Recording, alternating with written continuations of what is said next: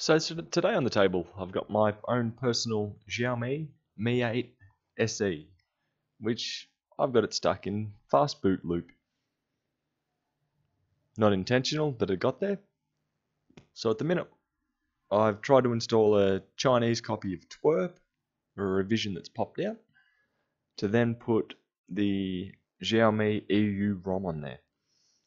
Now the TWRP succeeded, it installed, it formatted, I then told it to install uh, the uh, Xiaomi EU ROM. All looked to be good, finished, and now we're stuck in fast boot mode. So as soon as the phone turns on, no matter what button configuration's held down, we go straight back to fast boot. So this video here is going to be how to factory reset it while retaining unlocked bootloader for the Mi 8 SE. So first of all, I did come across a great little tutorial, which also contained the links, right here, which I will leave a link in the description below, and also a link to two of the files that, or one application, one file that you need to be able to do this with. It would also recommend to have an unzipping program installed. Personally, I use PeaZip. So here's the tutorial that I mentioned. We need the Xiaomi Mi Flash tool and we also need a copy of the ROM. And once we're opened, we should be able to plug the computer in, get it to recognize it. Oop. So as we see from here, here is the download for the Mi Flash tool. And on here as well, for the ROM, make sure, well, I went with a relatively early fast boot ROM as opposed to the recovery ROM. So you will need the fast boot ROM to be able to do this. Save yourself a few gig and don't get the recovery. Anyway, I'll connect it up. As we see, my phone's in fast boot mode. I was using, uh, was it fast boot tool? Close down a few things I don't require. Good old add, definitely not needed.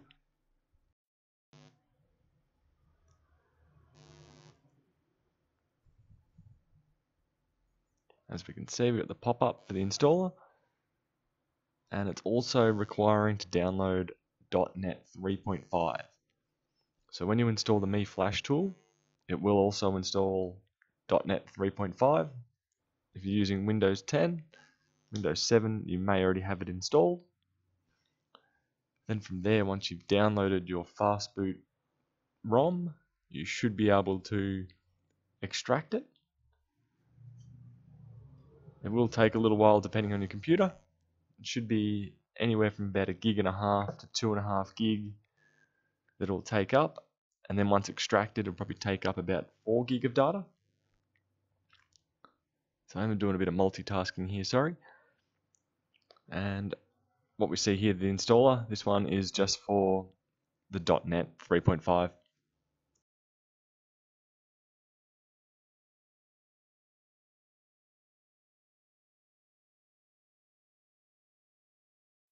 that .NET's finished installing, we can proceed to open up the Xiaomi Mi Flash tool, which I'll do that in just one second.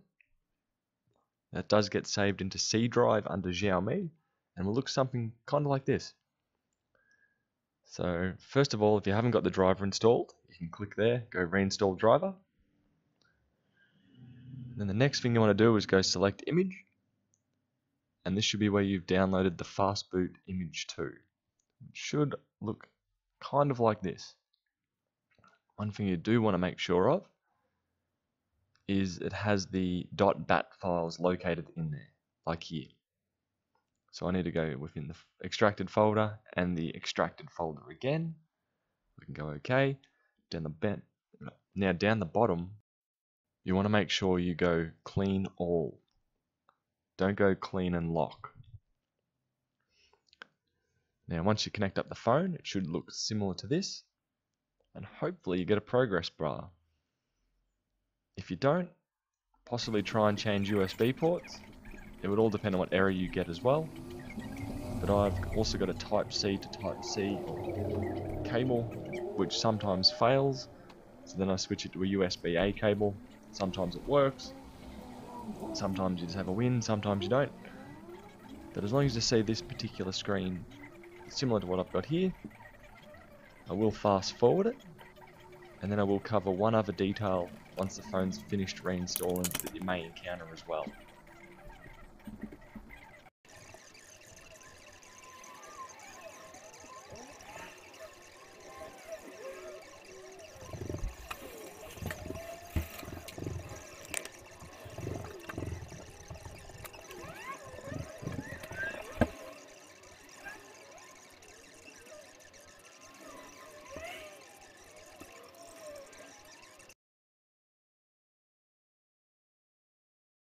I did fast forward that last bit by about 15 times. So the whole Xiaomi flash might take up to 15-20 minutes before you get a usable phone at the end. Now this is what I've encountered. I don't read Chinese, but I'm assuming it's referring to my Mi account. So down the bottom it's asking for a wireless network. So I'll connect it up to the internet.